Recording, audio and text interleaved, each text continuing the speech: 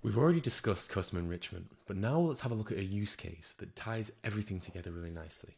So, custom enrichment actually exposes an API endpoint that can receive form data. Form data can include the CSV file itself, and this opens up a new way of integrating with Coralogix and making use of custom enrichment. One of the pieces of feedback we've received over the years is that the CSV file is sometimes out of date and needs to be updated manually. And so what we've done is we've exposed this API endpoint so automation can be built. Secondly, people often don't like manually working with CSVs. So here's an example of a Lambda function. Now if I, if I go to the Lambda function here, we can see some details. We can see that what it does is it speaks to the Coralogix Web API. Um, it uses the custom enrichment endpoint and speaks to a specific custom enrichment ID that we've created prior to running this Lambda function.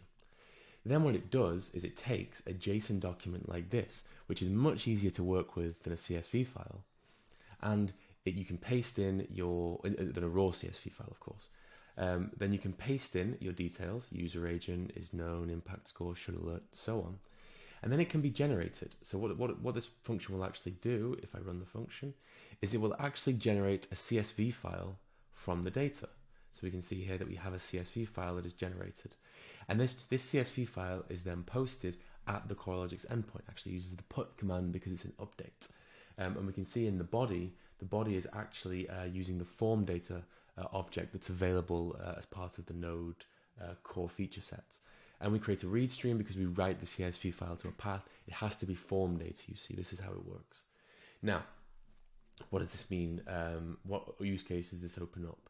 Well, of course, um, it means that you have um, a constantly up to date file for any new logs that come in.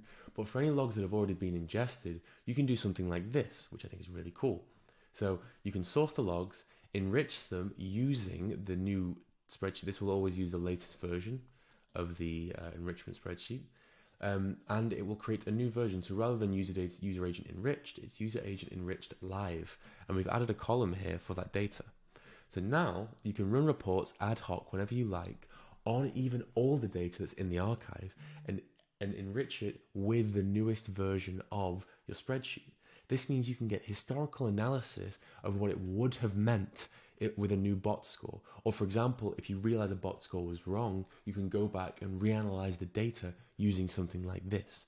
So not only are we enriching the data on ingestion, you can enrich the data dynamically constantly. This is very, very powerful for understanding your security posture, not just when all your automation and everything is working perfectly, but when your data has bugs that you then fix, you can go back and see what's changed.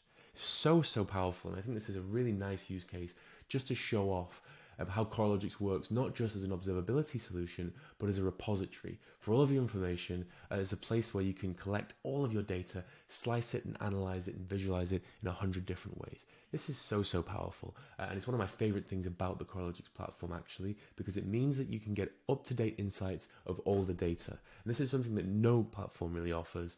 Um, and especially not the way Coralogix does it, because every time I run this query, which is actually running, by the way, against the archive in seconds, so we're running like 30,000 logs are being enriched in seconds here against an S3 archive, but we're doing it with no additional cost per query, nothing. So you can do this as much as you like. This is unlimited free access to your data with no worries about user costs or anything like that. And if you're interested in our pricing model, you can check the website out. We charge only by gigabyte and uh, ingested and, reten- and retained.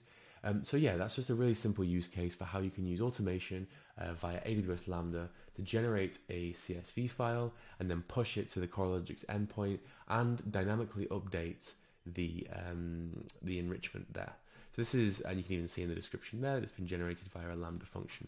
This is how you keep your custom data live with very few overheads.